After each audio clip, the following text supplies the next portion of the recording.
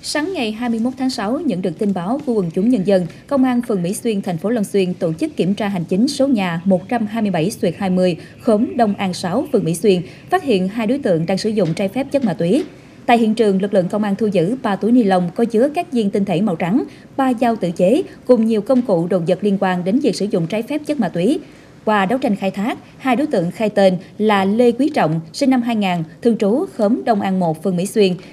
và Nguyễn Quốc Huy, sinh năm 1995, thường trú khóm Bình Khánh 1, phường Bình Khánh, thành phố Long Xuyên. Vụ việc được chuyển cho đội cảnh sát điều tra tội phạm về ma túy công an thành phố Long Xuyên tiếp tục điều tra làm rõ.